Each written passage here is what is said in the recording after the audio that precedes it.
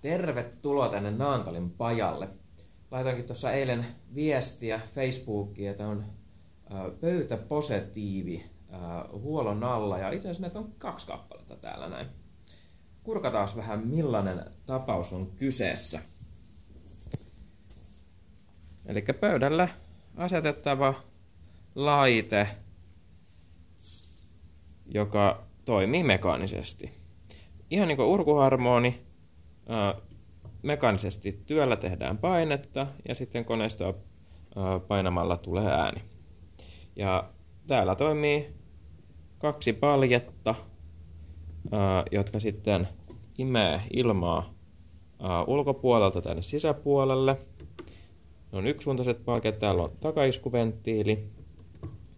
Ja sitten kun on riittävästi painetta, niin täällä on varastopalje, joka alkaa sitten mennä jousen avulla alaspäin. Se, ja lopustossa on sitten takaiskuventtiili, eli liikaa painetta ei periaatteessa voi tulla.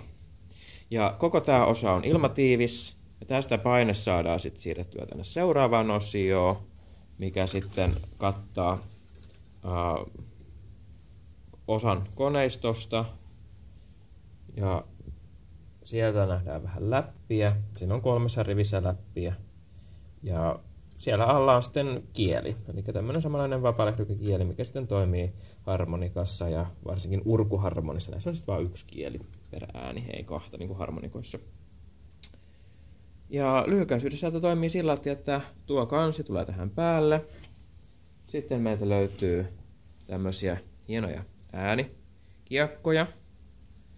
Ja se tulee tähän päälle, kun väännämme kammesta. Tuo keskimmäinen ää, puukiekko liikkuu myös.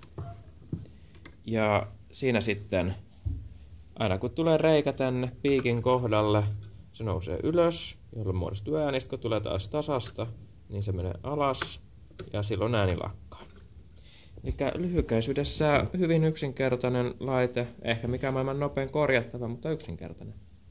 Ja itse asiassa voidaan kuunnella tuosta toisesta mallista pieni ää, ääniraita, ää, koska se nyt on soitto kunnossa, joskin vielä pientä viimeistelyä vaille.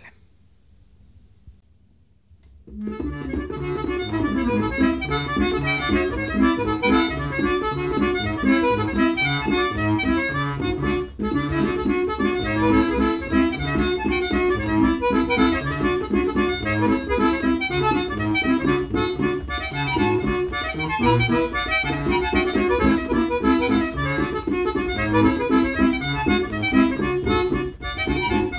Música